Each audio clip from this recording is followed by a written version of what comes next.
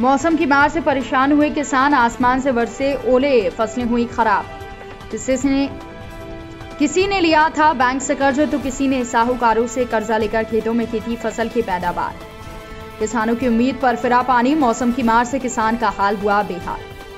ज़िले में बुधवार शाम अचानक मौसम बदल जाने से पूरे ज़िले में शाम छह बजे के बाद किसी जगह कम तो किसी जगह अधिक बारिश हुई। बारिश के बाद तापमान तीन डिग्री तक नीचे चला गया। इसमें बारिश होने से हवाएँ सर्द हो गईं। काफ़ी जगह पर ओले गिरे हैं, जिससे फ़सलों को नुकसान हुआ है। राघोगढ़ इलाके के कुछ ग्रामीण क्षेत्रों में ओले गिरने से फ़सलों में लगभग 80 से 90 प्रतिशत तक का नुकसान हुआ है। सुबह से ज़िले भर में धूप निकली हुई थी, जिसका न्यूनतम तापमान 12 डिग्री तक पहुँच गया। मंगलवार को न्यूनतम तापमान आठ डिग्री के आसपास था। लगभग शाम चार बजे से पूरे इलाके में बारिश शुरू हुई, जिससे गुना सहित आसपास के क्षेत्रों में म्याना, चांचोड़ा अरुण के कई इलाकों में बारिश हुई। गुरुवार सुबह ज़िले के राघोगढ़ क्षेत्र के अंतर्गत आने वाले ग्राम सोहरामपुरा गाँव में ओले गिरने से किसानों की फ़सलें नष्ट हो गईं। गाँव की आबादी 1500 के आसपास है। यहाँ अधिकतर किसानों ने सरसों, लहसुन, चने की बोहनी की थी। सुबह गिरे ओले से फ़सलें लगभग चौपट हो गईं और कई खेतों में 80 प्रतिशत तक नुकसान हुआ है। किसान धर्मेंद्र लोधा ने बताया कि उसके पास चार बीघा ज़मीन है, लगभग 15 बीघा उसने बताई पर ले रखी है, जिसमें 20 बीघा में उसने सरसों, लहसुन और चने की बोवनी की थी। उसने बताया कि अभी तक उस पर लगभग एक दशमलव बीस लाख का कर्ज हो गया है। पहले डीएपी के लिए कई दिनों परेशान हुए। जैसे तैसे डीएपी मिली तो बोवनी शुरू की यूरिया के लिए तीन तीन दिनों तक लाइन में लगना पड़ा। अब फ़सल ठीक थी तो ओले गिर गए।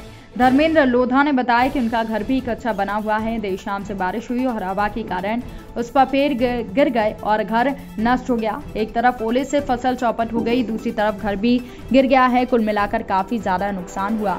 दूसरे घरों में उसने परिवार ने आसरा लिया। उसने बताया कि पूरे गाँव में फ़सलों में नुकसान हुआ है। सभी किसानों की फ़सल चौपट हो गई है। वहीं मौसम विभाग के मुताबिक नमी भरी हवाएँ काफ़ी नीचे आने से एक ट्रफ लाइन के रूप में है। पाँच जनवरी से पश्चिमी राजस्थान और आसपास के इलाकों में चक्रवात बनने जा रहा है। इसका सीधा असर मध्य प्रदेश पर पड़ेगा। तेज हवाएँ छह जनवरी को उत्तर पश्चिमी भारत को प्रभावित करेंगी और इसके प्रभाव सात जनवरी से दक्षिण पश्चिम राजस्थान और इसके आसपास के इलाकों में ज़ोर पकड़ेगा।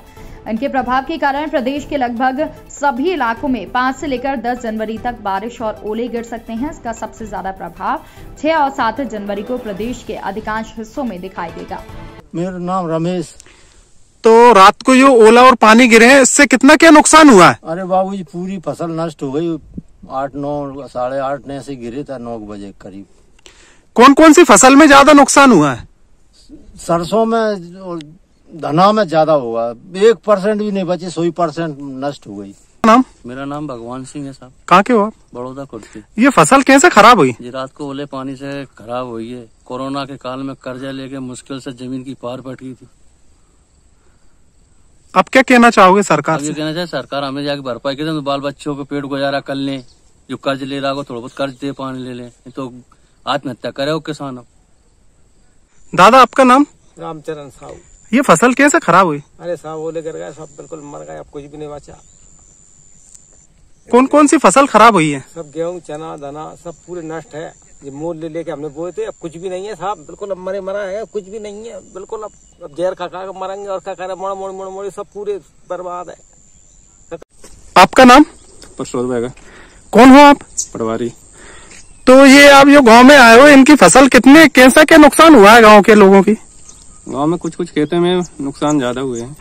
लगभग कितने परसेंट? अस्सी नब्बे परसेंट हुए कौन कौन से गाँव में? मेरा हल्के कड़ाई खेड़ा है बस।